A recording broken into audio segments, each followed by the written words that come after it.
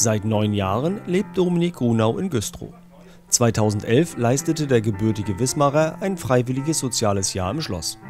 Die Verbindung von Kultur und Natur, die wunderbare Landschaft und die netten Menschen, die er hier traf, animierten ihn zum Bleiben. Güstrow wurde seine Wahlheimat und hin und wieder kommt er ins Schloss, um sich über Neuigkeiten zu informieren und die Sanierung zu verfolgen.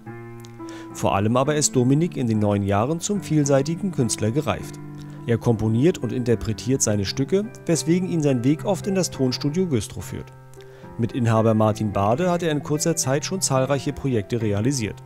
Grunau als Komponist und Arrangeur, Bade als Audio- und Mastering-Engineer.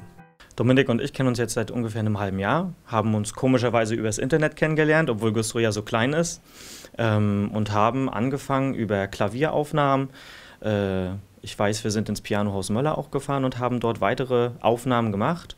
Äh, nachdem dieses Projekt dann abgeschlossen war, haben wir uns etwas Größerem gewidmet. Das war eine Soundtrack-Aufnahme und das hat eigentlich am meisten Spaß gemacht, weil es einfach herausfordernd war und ja auch was Neues, sowohl für ihn als auch für mich.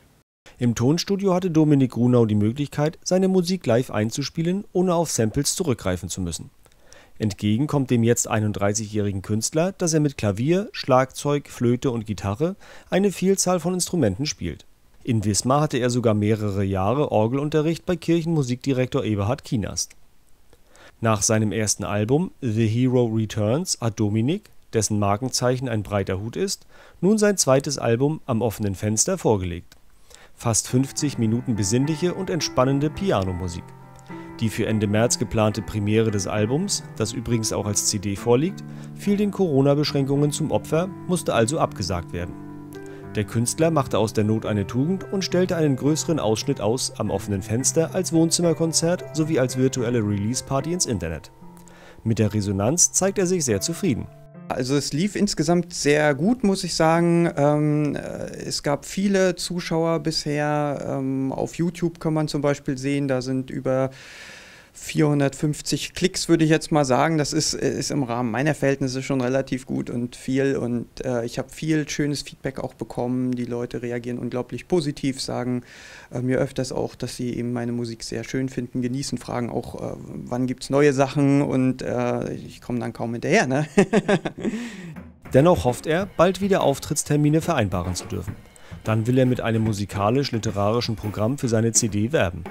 Den Literaturpart steuert er ebenfalls selbst bei. Sein Band Kirschblütenregen, Briefe an einen lieben Menschen mit über 50 Gedichten liegt beim Verlag und soll noch in diesem Monat erscheinen. Dominik stellt daraus ein Gedicht vor, das dem Buch den Titel gab. Kirschblütenregen. Einst hieß ich ihn mein Freund, mein guter Kamerad, der treueste, beste, den ich je gehabt. Einst hieß ich ihn, dann ließ ich ihn, die Jahre trieben mich auf einsamen Wegen dahin, wie Kirschblütenregen im Wind. Einst lachten wir und weinten und unzertrennlich einten die Sonne und der Regen uns im Spiel und freudigem Bewegen, obgleich die Tage schnell zerronnen, jeder Vorwand kam gelegen. Einmal albern, dann versonnen, zu genießen diesen Segen, der, obgleich Erinnerungen trösten, zusammen mit den anderen im Staub vermischt erscheint, in kleinen Wirbeln beim durch die Straße fegen als Kirschblütenregen. Die Illustrationen, die in dem Band zu finden sind, stammen natürlich von Dominik, der sich aber bei aller Vielseitigkeit nicht verzetteln will und sein Hauptaugenmerk auf das Komponieren legt. Da hat er ganz bestimmte Vorstellungen. Also musikalisch bin ich natürlich sehr, sehr frei und offen. Als Komponist ist natürlich mein Bestreben, mich möglichst in allen Genres aufzuhalten und jetzt äh, alle Facetten auch abzudecken. Ähm, ich selbst mache natürlich weiterhin jetzt meine eigenen Projekte im Bereich Klavier, äh, habe jetzt gerade mir so eine kleine neue Nische erschlossen mit, ähm, ich sag mal, meditativer Musik, Entspannungsmusik. Ähm, aber natürlich auch gerne äh, weiter verstärkt in dem Bereich Filmmusik und Soundtracks. Also da wäre natürlich ein großer Traum mal für irgendeinen größeren Film, sage ich mal, muss jetzt nicht gleich die totale Hollywood-Produktion sein, aber für irgendeinen größeren Spielfilm dann mal einen Soundtrack auch zu produzieren. Apropos Vielseitigkeit. So ganz nebenbei schreibt Dominik auch noch an einem Kinderbuch. Er erzählt darin die Geschichte des kleinen Hasen Tobias, der die Welt zu erkunden beginnt. Die Illustrationen sind, wen wundert's noch, von Dominik Grunau.